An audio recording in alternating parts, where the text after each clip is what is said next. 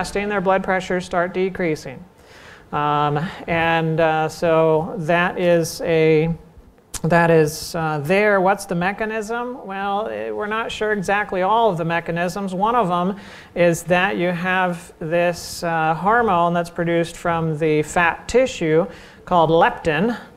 And leptin, one of the things that it does is it signals to the part of the brain that controls your fight or flight response. And your fight or flight response, one of the things that it does is causes your blood pressure to go up so if you're taking a walk and the pack of dogs start chasing you, well, one of the responses of that is your blood pressure starts going up uh, because you want to be able to keep blood going everywhere and especially to your head and other places that are you know nice to have uh, blood flow. You don't want to have your blood pressure go low and pass out while the pack of dogs is chasing you. Um, so uh, there's that response through leptin, through fat tissue, through leptin, and then the sympathetic nervous system or your fight or flight response, and then increasing the blood pressure. So when you fast, well, guess what happens? You start using up fat tissue in the, in the process, and leptin levels start decreasing, and it helps out with blood pressure. Now, another thing that you can do for, for hypertension is, of course, limit your salt intake. That's a, that's a biggie. In fact, there are eh, some, some believe that salt intake over a long period of time is the major cause for increasing blood pressures as one ages. Uh, there are a few populations where they have quite low salt intake throughout their entire lifetime. And in those populations, elderly individuals tend to have about the same blood pressure as teenagers in those populations. So uh, it's really only in populations where you have too much salt intake that you notice an increase in blood pressure the years as a person ages. And we thought, well, blood pressure was just a function of age. It doesn't have to be. It's just that your age gives an idea that you have been exposed to something for a long time and it's taking its effect. And one of those things is salt. And of course, what are the major sources of salt in the diet? Well, the American diet, uh, cheese, breads, soups, sandwiches, and pizza are, are the top of the list as far as salt sources in the diet. Uh, and uh, number one overall is breads. Breads is number one overall. Um, if you ever tried to eat bread when somebody didn't put salt in it when they made it, you won't be eating much bread. Uh, and uh, some of the breads, like the French breads and other things like that, you eat it and you're like, whoa, this tastes great. And you didn't even put a little bit of butter on there. And, uh, and the reason for that is because it's got so much salt. Of course, you also find quite, find quite a bit of sodium in animals, uh, animal products as well, because the major electrolyte inside of animal cells is sodium. Uh, and so you want to look at limiting salt to how much? Well, about 1,500 milligrams or less a day. What's that? That's about two thirds of a teaspoon of salt for the entire day. And that includes in everything that you uh, you know, not just the salt that you put on your food, but the salt you cook your food with. Now, you know, obviously, if you're cooking a, uh, for 20 people and you put salt in there, uh, the portion that you eat is not going to be the entire portion of salt that you put in there, but just keep in mind what you put in the cooking also counts towards what go, what's your total salt intake for the day. So again, about two-thirds of a teaspoon of salt or less a day and that's going to be helpful for your high blood pressure. Also, you want to look at maintaining a high potassium to sodium ratio. High potassium to sodium ratio, that means that you're eating a lot of potassium, but you're not getting as much sodium that's in that. And how do you achieve that? Eat plants. Eat plants. Because animals, again, sodium is the major electrolyte in animal cells, and so if you eat animals, sodium's going to be high, and potassium is really low. Like when you do your blood tests and we look at your blood levels, well, we know that normal sodium levels in your bloodstream should be between about 135 to 145 milliequivalents per deciliter. But when it comes to potassium, you really should be around 3.5, 4, somewhere in that range, right? Not 130, 140, but 3 or 4. Right? So in animals, potassium is quite low, sodium is quite high. Now, plants, it's the opposite. Potassium is quite high and sodium is quite low. So what are areas where you can get lots of potassium with very little sodium? Well, nuts and seeds, legumes, your beans, peas, and lentils. And of legumes, soy has the best profile as far as the uh, potassium to sodium ratio. Uh, dried fruits, whole grains, just regular fruits, mushrooms, squashes, and potatoes, uh, all of those are uh, are good as far as their potassium to sodium ratio. If you wanted to even break it down even further, plants. Just eat plants. And, uh, and that's going to give you a, a high potassium to sodium ratio, and that's going to help out with your blood pressure.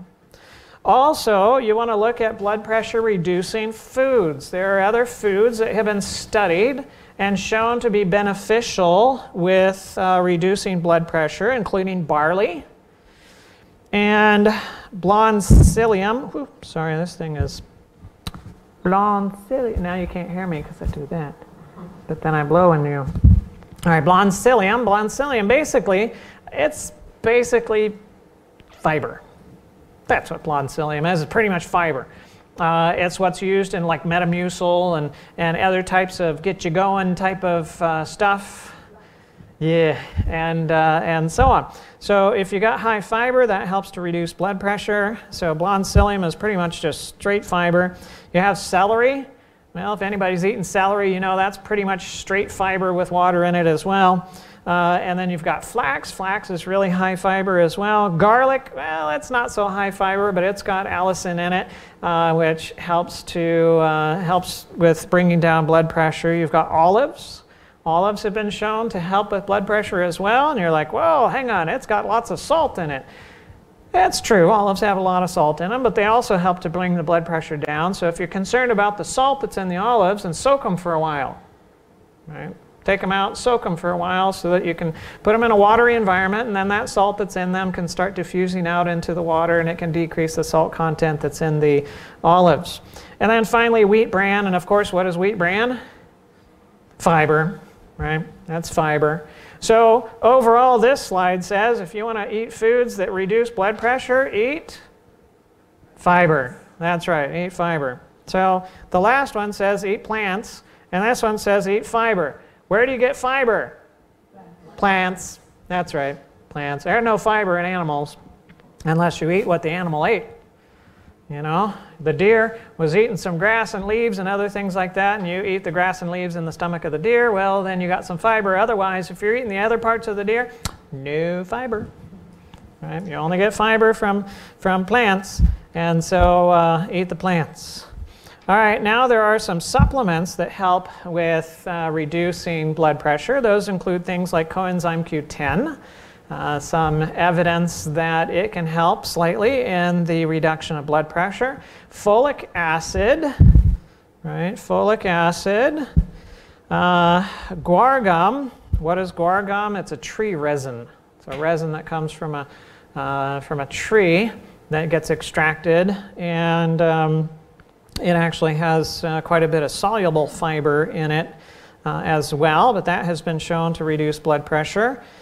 Uh, there is L-arginine, and L-arginine is an amino acid, and that amino acid is, is used as the initial product for the cells that line the, the arteries the endothelial cells, they use it in the process of making nitric oxide and releasing nitric oxide. Nitric oxide is a very potent vasodilator, causes the blood vessels to dilate, and when the blood vessels dilate, then you've got more space for the blood, and if you have more space for the blood, then you have less blood pressure. That's right. Um, so L-arginine has been shown that if you, you bump up the levels of L-arginine, it can increase the production of nitric oxide and decrease the blood pressure. Niacin as well, vitamin B3. Niacin uh, can also help with blood pressure reduction. One of the side effects of niacin, which people don't exactly like, it's like having a hot flash. Yeah, you take niacin and you have, you know, it's kind of like having a hot flash. You, you, you, you vasodilate, so it causes the blood vessels to dilate, especially those under the skin surface, and then, then you start getting flushed and you feel hot and all of that kind of stuff. And now that I'm saying that, you're going to pull out your papers and start fanning yourselves. And, and uh, right? So uh, just even mentioning a hot flash. All right. Um, so uh, there are slow release versions of niacin. Uh, some individuals, uh, you're really aiming for somewhere around 2,000 milligrams a day of, of, niacin, but you can start at like 250 milligrams or 500 and then kind of work your way up over time as you develop some more tolerance to, uh, to that. And, uh, and so that can be, can be helpful. Um, and then there are some delayed release forms that don't cause as much flushing and allow you to, uh, you know, allow your, uh, your niacin levels to be uh, elevated over a more, a more long period of time. And there is some evidence to say that vitamin C also helps when it comes to uh, blood pressure reduction as well. So uh, yummy, yummy vitamin C. Now, the only vitamin C that tastes yummy is the one that has sugar added to it because it's citric acid, and acids don't taste yummy, they taste sour. Um, so the yummy ones are the sugary ones. There are some herbs that have been shown to reduce blood pressure, including uh, hibiscus. And uh, so that's a good one, hibiscus. The flower that's the part of the plant that you usually use is the flower, and so they have uh, dried flower. In fact, you can, you can eat the flower if you want to. Uh, you can go out there, get a hibiscus plant, and you can eat the flower. It's edible. Um, some people like to, to pick it, and sometimes you can suck the, the, the nectar out of the back end of it. Um, and then you can just take the rest of the flower that you didn't eat and uh, go boil it and, and make a tea out of it. Just make sure after you drink your hibiscus tea to wash your, rinse your mouth out with water a little bit because it's a bit acidic. And there's concern that if you keep using it over a long period of time, you don't wash your mouth out, then it starts maybe eating away at the enamel. Um, so that's one concern. Then there's hawthorn berry. Uh, and you see it there, the hawthorn berry, that uh, can be helpful uh, with heart health uh, potentially with some blood pressure. And then the other thing that I didn't have listed on there, I'm not sure why, is olive leaf. So olive leaf has uh, some studies with it showing that it helps to reduce blood pressure as well. And, uh, and so eating olives helps, and drinking olive leaf tea can help, or olive leaf extracts. So a lot of the olive plant is helpful as far as blood pressure reduction is concerned. You also want to avoid the things that cause high blood pressure. So uh, if you're smoking, stop it. Drinking alcohol, stop it. If you're drinking, uh, if you're uh, if you're drinking caffeine, stop it. Right? All of those are going to be just causing the blood pressure to go up. Uh, and alcohol, it's usually not right away that it causes the blood pressure to be elevated. It's over a period of time uh, that it ends up having that effect, but it does end up increasing blood pressure levels over time. Tobacco can have a fairly immediate effect uh, because tobacco, there are uh, receptors for nicotine uh, on in your muscles, in your muscle cells, and when nicotine hits those receptors, it causes the muscles to contract, including the muscles that are in the blood vessels. And so it can cause those to contract, clamp down over the blood, uh, and then you increase the blood pressure. And then, of course, caffeine has a similar effect as well. It has a stimulant effect, uh, and so it increases blood pressure fairly quickly, and then begins wearing off about five plus hours later. Um, but the more consistently you drink caffeine, the more consistently your blood pressure will be elevated. Another thing, losing weight. Right? Losing weight is, uh, is another important component of that. Again, through that pathway of uh, leptin, that hormone that's released, and then stimulates your fight or flight response, and then it causing your blood vessels to contract and then increasing your blood pressure. So as you have less fat tissue, less adipose tissue, then you have less of the leptin and you don't have as much stimulation of blood pressure. And so if you have somebody that has high blood pressure and they also have high weight, that's a good scenario because then you can you can concentrate on the weight and get the weight loss and you you know you're going to get gains as far as the blood pressure reduction is concerned. Um, but if you have skinny mini who's also hypertensive, well, there's other things to do, but you don't have that component that you can work with. You know, you can't you can't just starve her to nothing and try to get the blood pressure down. There's other things you got to work on. Um, one of those is staying well hydrated. Right, that's something that's important as well uh, to have proper hydration because one of the things that contributes to blood pressure is the viscosity of the blood. So uh, I don't know if you've ever had the experience of, um, well, uh, pretty much everybody's had the experience of drinking from a straw. And if you've had the experience of drinking from a coffee straw, you know, uh, you know that it takes a bit more pressure to suck up through a coffee straw because the, cause the, um, the size of the straw is smaller. Now just imagine taking a coffee straw and trying to suck up tapioca pudding. Is it going to work very well? No. Water, it's going to be a lot easier than tapioca, right? Because the tapioca is thicker. Well, the thicker the blood becomes, we call that viscosity, the, the more viscous or the thicker the blood becomes, then the more oomph it takes to try to get it through the blood vessels. And so the more dehydrated you are, then, uh, then the more resistance you have to that forward blood flow, and the more the heart has to push in order to get that blood flow through, and then that's going to communicate more blood pressure through the system as well. So when you stay well hydrated, then that helps to uh, decrease the viscosity of the blood, and so help things to, uh, to flow easier, to flow better. Um, and then, um, have you ever have you ever had honey in the wintertime? It's nice and crystallized. It's really, you know, and you're like,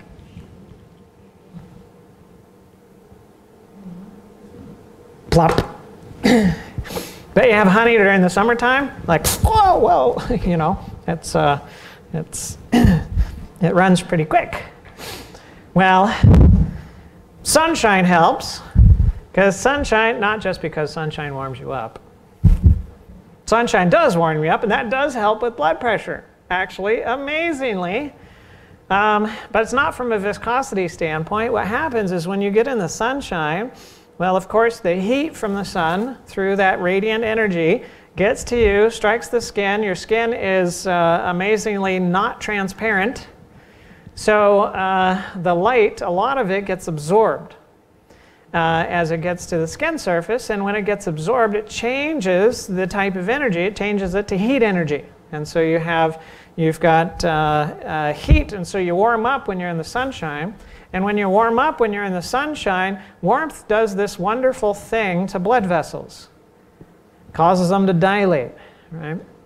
And uh, either you get the warmth directly to the blood vessels and it can cause them to dilate, or through your nervous system, when warmth gets to the skin, then that's, uh, that's basically metered or measured by the nervous system, goes to the brain, and then you have a response that goes back to the blood vessels that causes them to dilate. And when your blood vessels dilate, then it can decrease your blood pressure.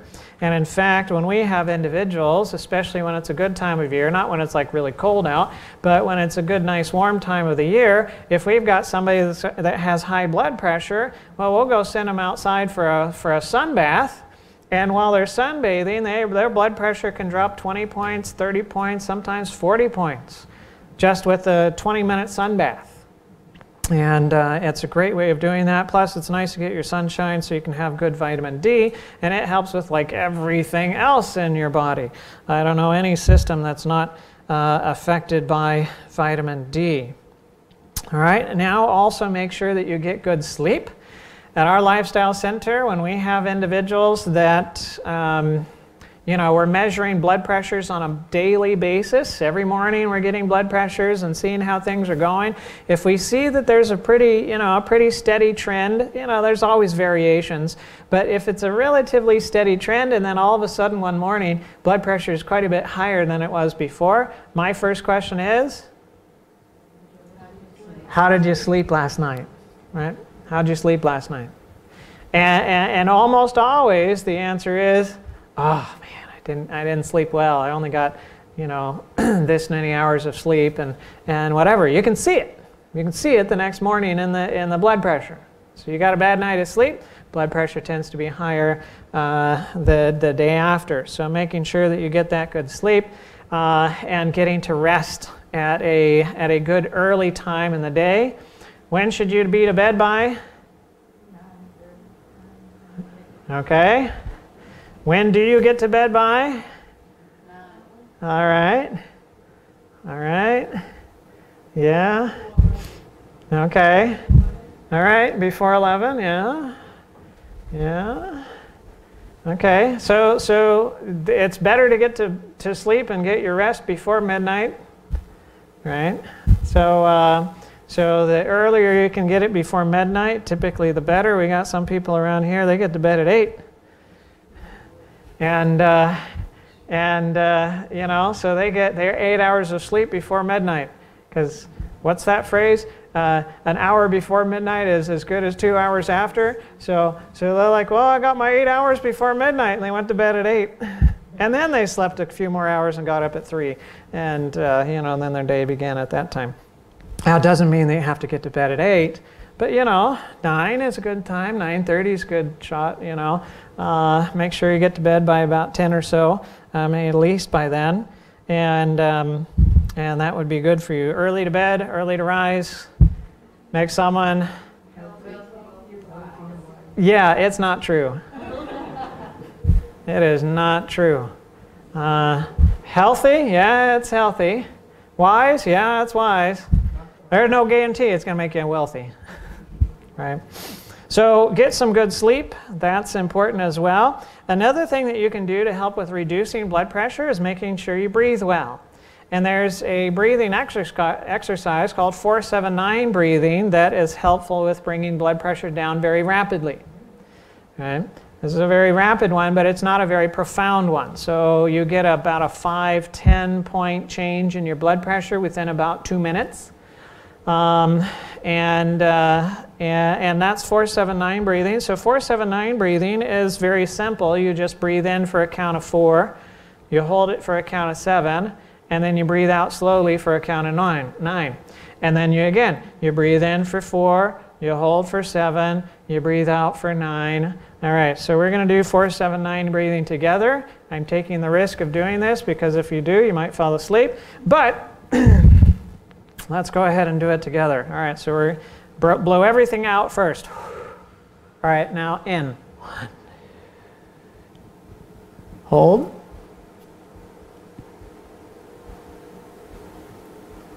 Out.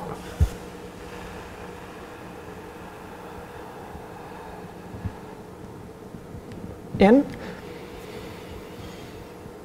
Hold. Out.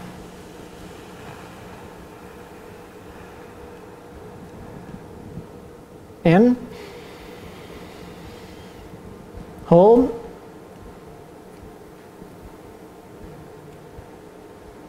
Out.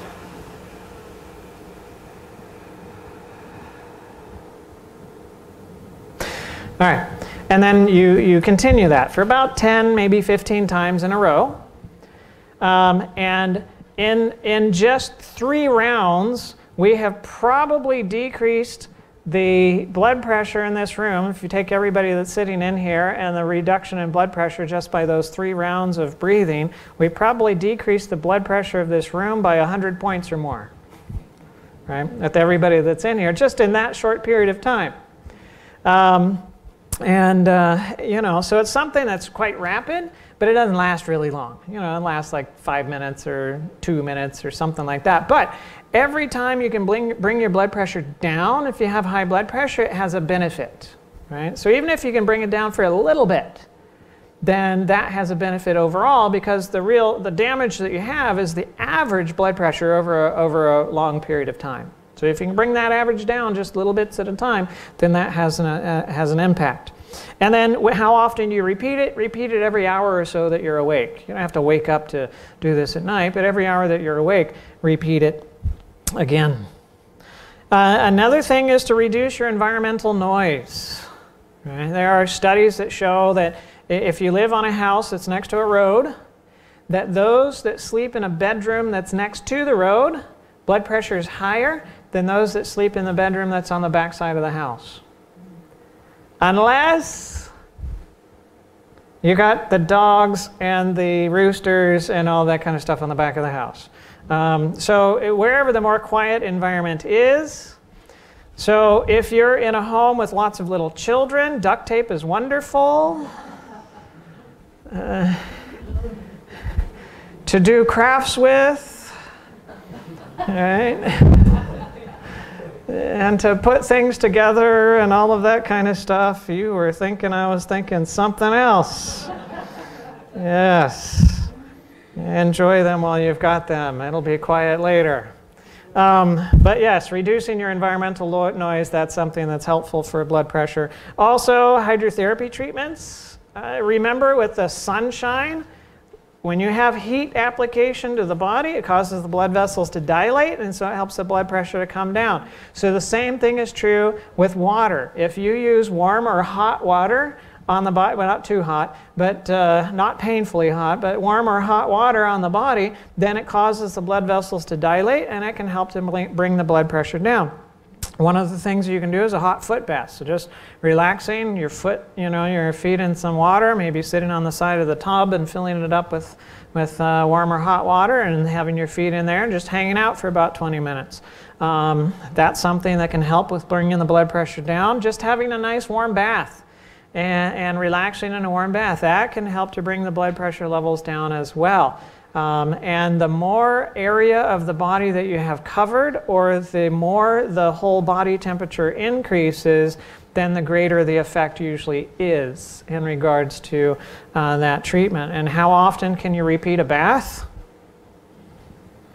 I don't know. I'll leave that with you. Okay. Um, If you do it too long, then a one-year-old turns into granny toes and grandpa toes. you know, um, our three-year-old's like, look, look, I've got grandpa hands. yep. yep, yep, yep. It's amazing how a grape turns into a raisin really fast, huh? Uh, when you get into a bath. How does that happen? You get into water and you soak in water and then you turn into a raisin. You think that the raisin should turn into a grape when you put it into water. I'll let you think through that one. All right, and then step number 15, the last step that we'll look at for high blood pressure, is, is eliminate your stress. So once stress is gone, what do you have to have high blood pressure for? You're probably like, uh, okay, yeah, good suggestion. How do I do that? Yeah, well, there's a number of ways of doing that, but I'd, I'd go to Uchee Pines, go to the YouTube channel, right? Go to Uchee Pines YouTube channel and uh, there's, a, there's a few series there that uh, I think will help with that. One of them I'd recommend, I'm not biased or anything, but it's called the Law of Life series. Um, and uh, help you understand things, put them in context uh, to help out with that stress. All right, now what about cholesterol? Having high cholesterol um, and uh, the adverse effects that go along with high cholesterol, like atherosclerosis, that's the thing that you dread the most when it comes to high cholesterol is the development of cholesterol plaques in the arteries and uh, then that resulting in heart attacks and brain attacks and kidney attacks and leg attacks and other attacks uh, where you cut off or you significantly limit the blood flow and then things beyond that limited blood flow die or feel really bad. So uh, how do you help you with your cholesterol levels to reduce them? Well, first of all, stop eating cholesterol. That's the big one. Stop eating it. Where do you find cholesterol? Animals. Animals. That's right. That's where you find cholesterol. So animals or animal byproducts. So uh, if it's in an animal or it came from an animal, then it probably has cholesterol. Um, and, uh, and every cell of the body, it doesn't matter if you have the lean portions, you know, obviously this, this nice white stuff around the outside probably tastes pretty good, has a lot of fat in it, and so, well, that's the bone right there, but uh, has quite a bit of fat. But even that red stuff in the middle, every cell in an animal contains quite a bit of cholesterol because it's part of the cell membrane. Cholesterol is part of the cell membrane of every cell in the animal, and it's what helps the cell membrane to be fluid so that you can move without cracking. Right? If you were a tree and you tried to walk around, then you go, right, and it wouldn't work so well. Um, so you've got cholesterol to make you be nice and fluid while you're while you're moving around. So that's in every cell of the animal. So it doesn't matter if you have lean cuts or not. It's you still got quite a bit of cholesterol with it. Um, and so animals are the source of cholesterol, and of course, animal byproducts are involved in that as well. So anything that can squirt or drop out of an animal, it's got, it's got cholesterol too.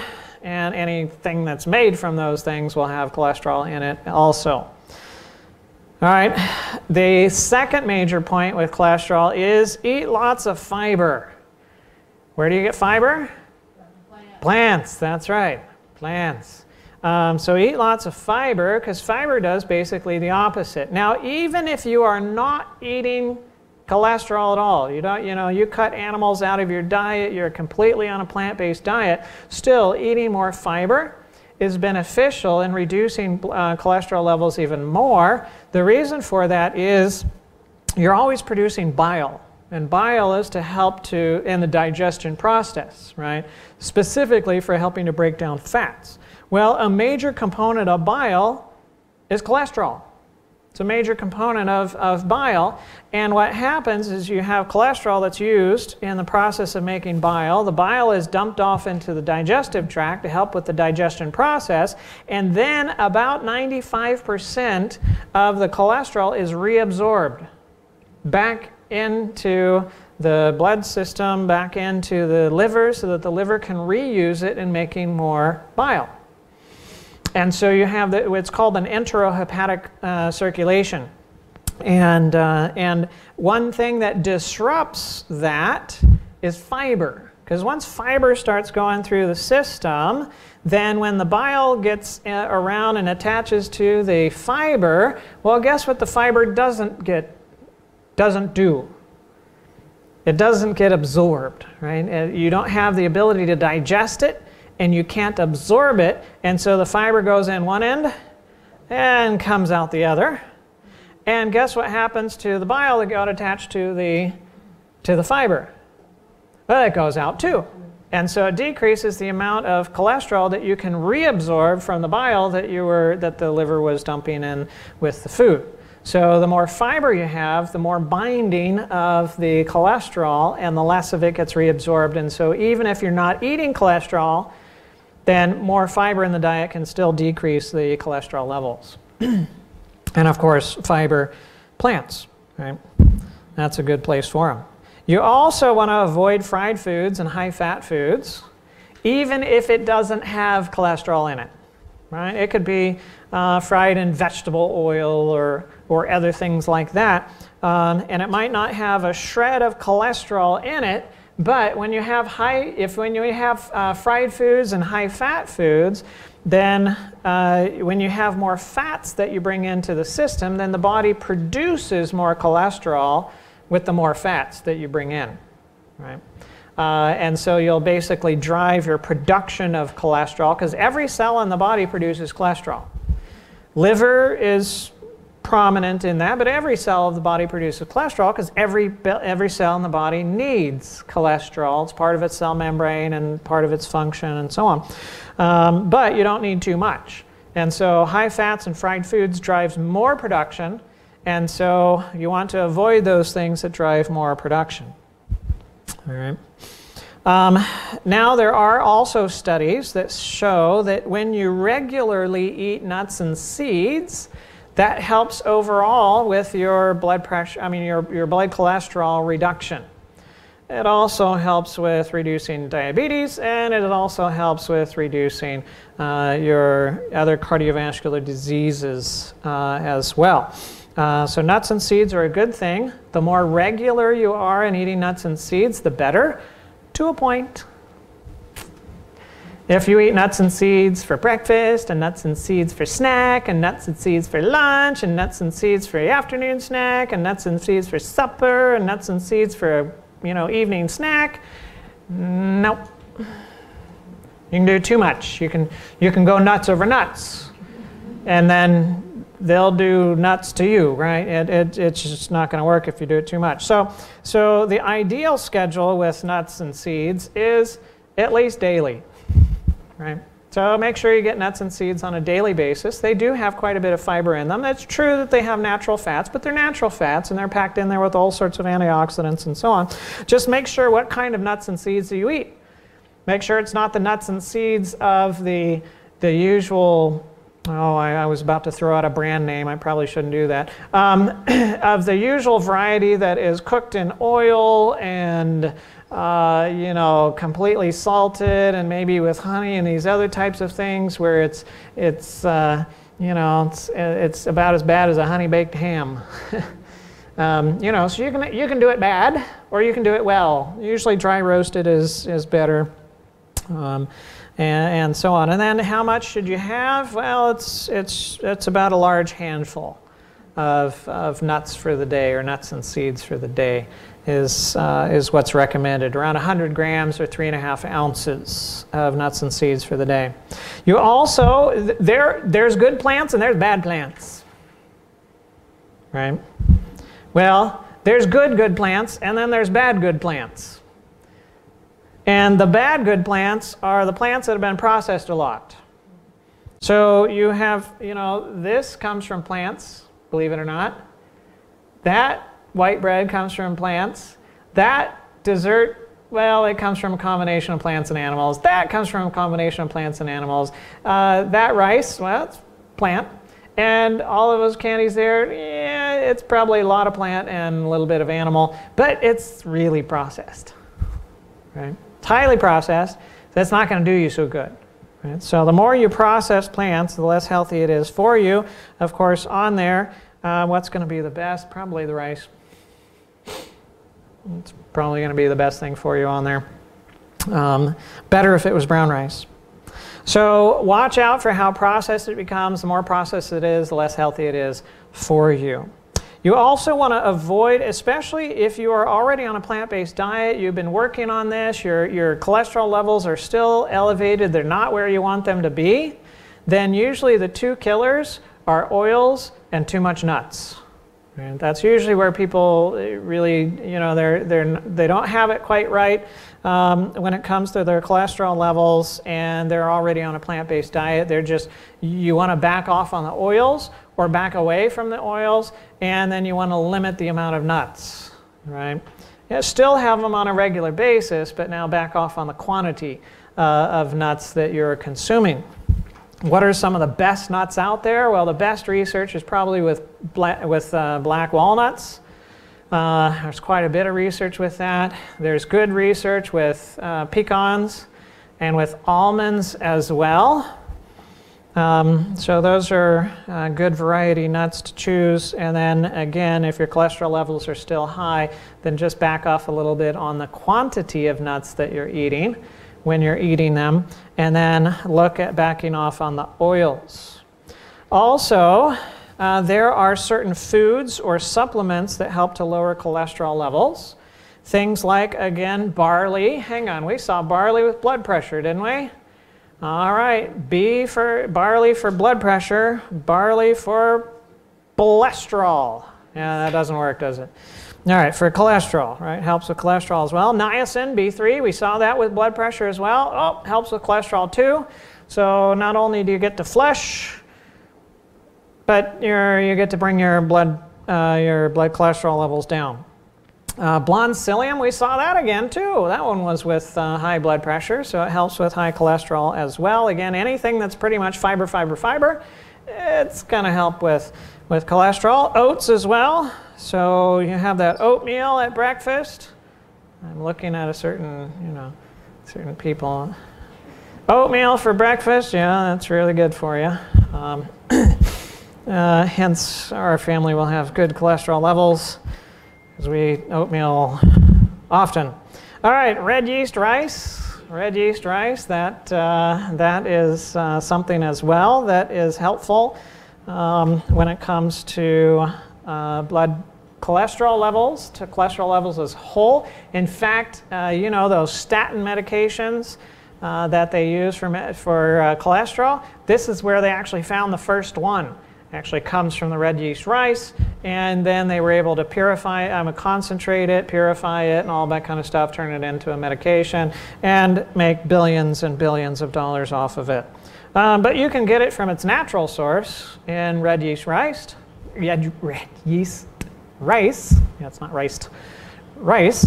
And, um, and you can find that typically in health food stores, or you can find it online, or something of that nature that can help additionally with helping to bring down blood cholesterol levels. And then you have beta glucans, uh, beta sitosterol, and uh, and phytosterols. Um, these are basically plant based cholesterols. Um, and yes, there are some plant-based cholesterols, but they compete with cholesterol for absorption. And so they decrease how much cholesterol you absorb from the digestive tract, again, bile and that kind of stuff. And, uh, and also they're, they're easily, more easily excreted from the system. And uh, so those are helpful. What are some things that are high in that? Well, you have, of course, like your broccoli, you have your mushrooms, um, but you also have things like peanuts and avocado. Those are pretty good as well. Um, so those are things that you can look at. Um, and flaxseed. Flaxseed is uh, excellent from that standpoint. So eat plant phytosterols. So those are similar but different compounds. You've got avocado, flax, peanuts. They compete with cholesterol for reabsorption in the GI tract. I got ahead of myself by one slide. Look at that. Um, and uh, they're typically excreted back into the GI tract. And, and so that can help you with uh, cholesterol levels as well. So don't, don't shy away from avocado completely if you've got high cholesterol levels because it actually is good for you. Uh, just don't eat seven avocados a day. That's probably not going to be good for you. Everything good you can overdo, and then it ends up not being so good when you overdo it. Another good thing, exercise. Right? So exercise is going to be helpful with your cholesterol levels. This will be one of the things that can increase your good cholesterol is uh, exercise. Now another thing that can increase your good cholesterol is the nuts and seeds. Right? So if your HDL levels are too low, that's your good cholesterol, then a couple things you can do is uh, increase your nut and seed consumption and go out there and exercise some more. Those are some things that can help with that. But exercise overall tends to decrease your total cholesterol levels and decrease your bad cholesterol, your LDL cholesterol levels, and it tends to increase your good cholesterol levels as well. Uh, it can be cardiovascular exercise, like apparently she is doing. Um, don't know if she's walking or dancing or uh, doing the moonwalk backwards or whatever. Um, but also weightlifting as well. That can, uh, that can be helpful and beneficial from an exercise standpoint as well.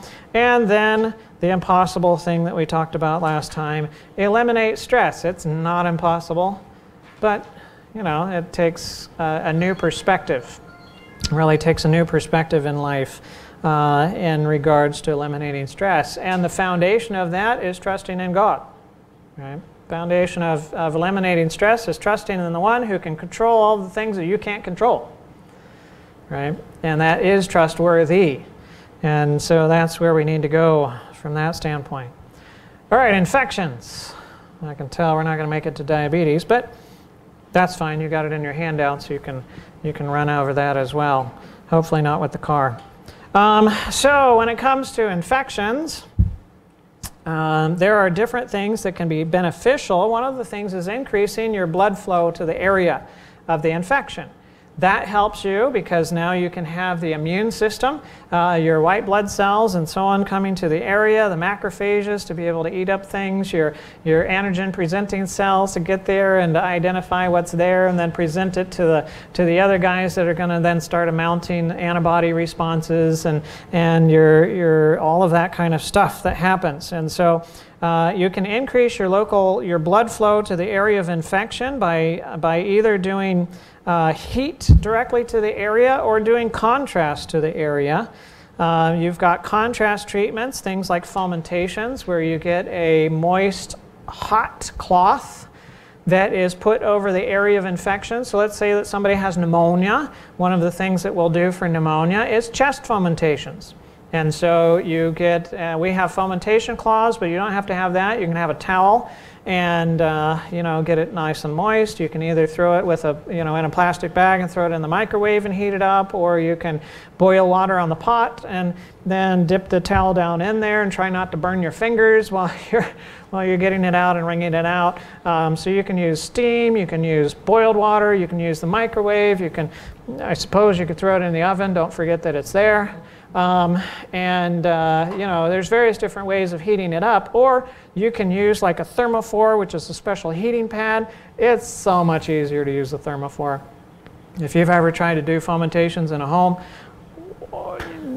sometimes you just don't do them because they're so, you know, it takes so much time and you got to go to the stove and you got to get this and you got to go back over there and you got to carry this with you.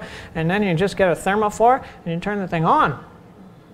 Oh, so nice, right? Makes it so easy. And, uh, and uh, yeah, that's thermophore. T H E R M O P H O R E. Thermophore. Uh, it's uh, made out of Battle Creek, Michigan.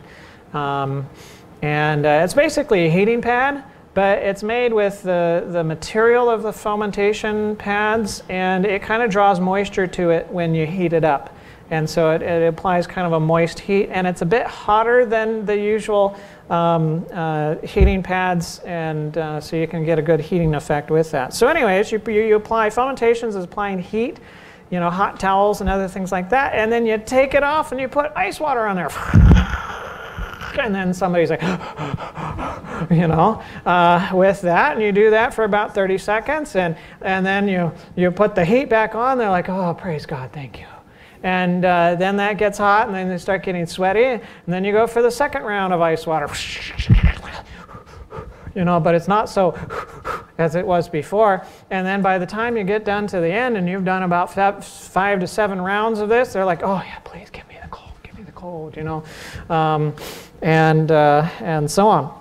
So you can do it that way, or you can do it with immersing the, the part of the body that's infected under hot water you know, so if you've got an infected elbow, then you stick it down in hot water. An infected head, stick it down in the water. Um, all right, all right, you got you got that one. All right, um, and uh, you know, infected toes, stick it in the water, and so on. So you can do a bath from that standpoint, and. Uh, and then, of course, there's other things that can help to improve the immune function. Fasting, sometime, uh, that can be beneficial. Why? Because you're just you're you're relieving the system of work, so that you can conserve for the immune function, right?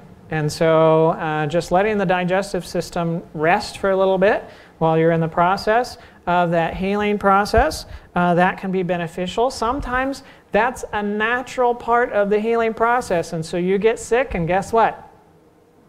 Your appetite goes, you don't want to eat. That's actually a protective mechanism, right?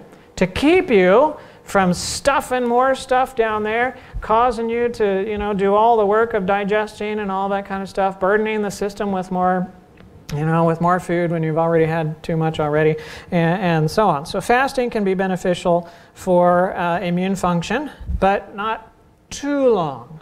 Right? You can fast too long and then it becomes detrimental. How long is too long? Yes. Answer is depends. And um, where's the line? Well, it depends on how small the person is, depends on how much weight they had before they started the process, depends on what they're sick with, depends, there's a lot of things that it depends on, and I can't go through all of it to, to, uh, to describe that. So uh, if you don't know, then call Uchee Pines, talk to Helena, she'll walk you through it. Um, or one of the medical staff. Um, all right, so exercise is also beneficial for uh, infections and, and improvement from infections as well. Um, and uh, the, um, well, let's see, one of the And it can be from interesting things too, like malaria.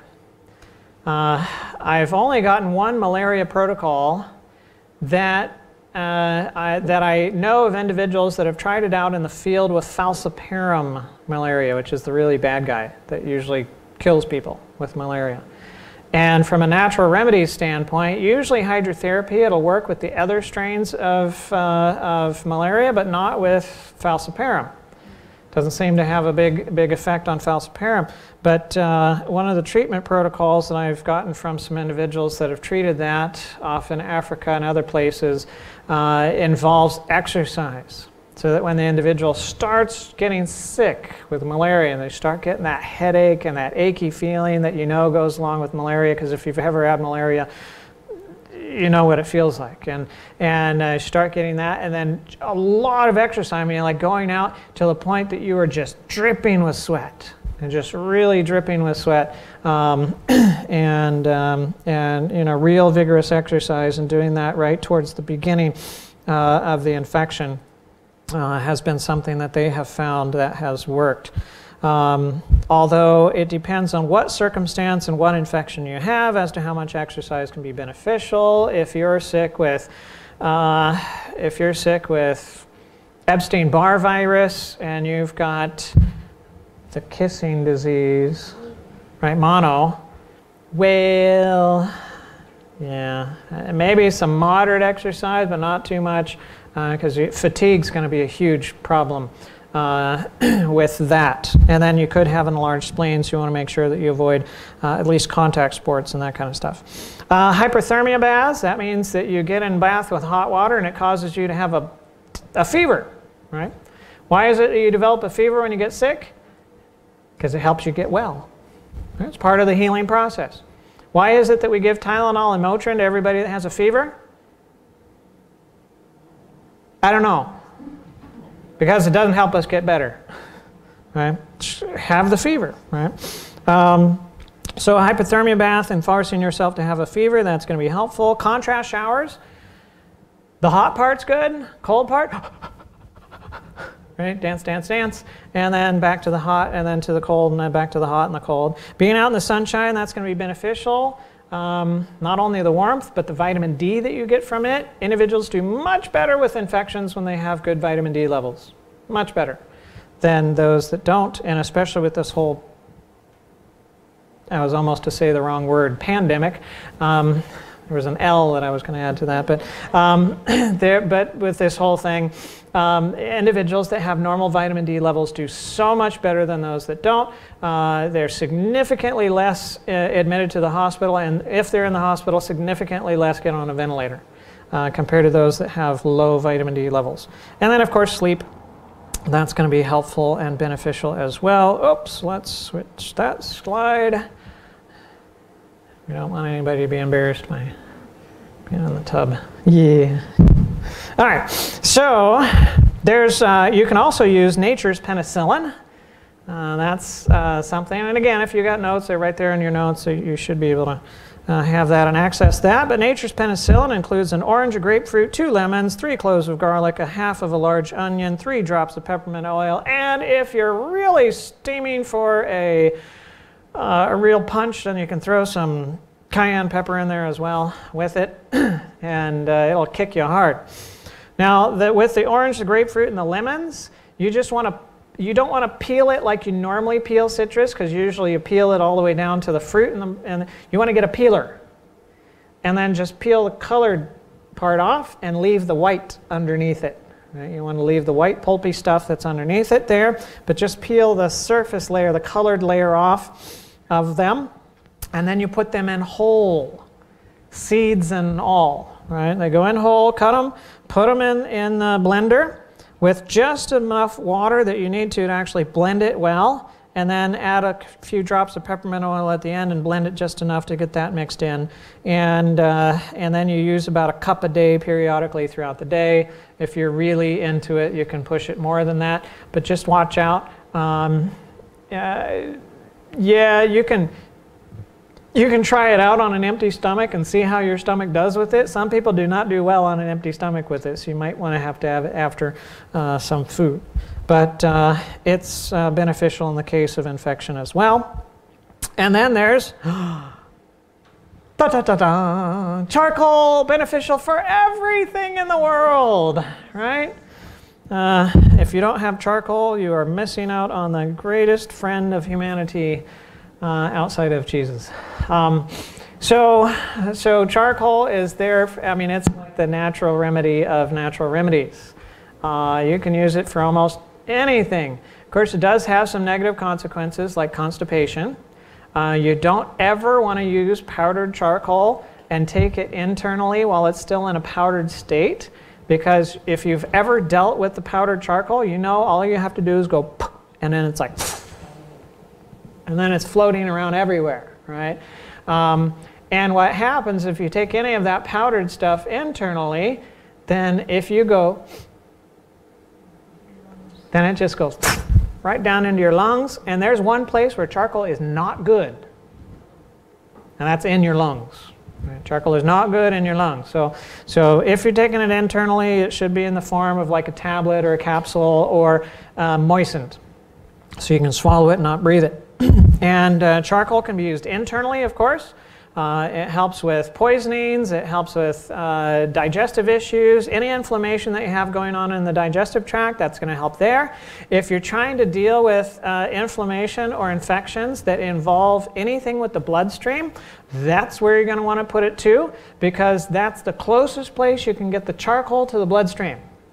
Because you got a whole bunch of area where all you have is one cell layer thick of, of on the digestive wall and you have one cell layer thick on the blood vessel, and that's all that's separating the two. And, uh, and so you can have some really good effect through the digestive tract. Um, but also you can use charcoal superficially. You can use it on uh, topical applications, an abscess, uh, uh, uh some kind of ulcer, or uh, you can use it on uh, cellulitis or, or any kind of superficial type of, of uh, infection. Just watch out when you use charcoal topically that you don't put the charcoal directly on an acute wound. Right? So if you have uh, where the, the skin has opened up recently and it's going to close fairly quickly, you don't want to put charcoal directly on that uh, because it can tattoo the area. Uh, if you have a chronic wound, so somebody has, you know, they've got like venous stasis ulcer or something that's been there for, for weeks or months or something like that, you can put charcoal directly in that. It's not going to tattoo. It's the acute wounds that are an issue. But if you're using it over an acute wound, then all you do is put a layer of paper towel between the charcoal and your application and you're, you're good, right? And, uh, and uh, so with the natural remedies classes, they'll talk about more how to do that. There are antimicrobial agents like American ginseng, golden seal, echinacea, oregano oil, grapefruit seed extract, tea tree oil. There's a whole bunch of others as well. Um, if I haven't listed your favorite herb, it's just because I'm not going to list every herb because uh, there are a lot of them that, uh, that have benefit as far as immune function is concerned. And uh, many of these can be taken internally or externally. Some of them you have to watch out uh, that you don't want to use during pregnancy uh, or lactation. And you got to watch out on your quantities of taking them internally, like oregano oil. If you have ever tried oregano oil, it is hot. It's hot. I mean, that thing burns you know. So when you're taking it internally, you probably don't want anything more than about four drops at any time that you're taking it, you know, and mixing it into something and and so on. So you gotta watch out for that. Uh, echinacea is okay for pregnancy. It's okay for little ones. Um, so the echinacea flower, that one is, is, is okay for pretty much anyone. Um, and then another one that usually works pretty well during pregnancy and childhood is um, oh, elderberry. Right? Elderberry is, is, uh, is okay for the little ones as well. And then, of course, you can use poultices, uh, various different poultices that can be helpful. Uh, here we have a cabbage poultice, and here's a regular charcoal poultice, and, and we use castor oil frequently um, because of its uh, anti-inflammatory effects. Uh, all of those can be beneficial, but really, if you are dealing with an infection infection, eh, charcoal is probably your best your best shot. Uh, if you're looking at pain, uh, cabbage does pretty good, but I wouldn't be using cabbage over top of a, like an infected wound or anything like that. It, really, you'd be looking at uh, charcoal if you're going to be using it. That's going to be your better option from that standpoint.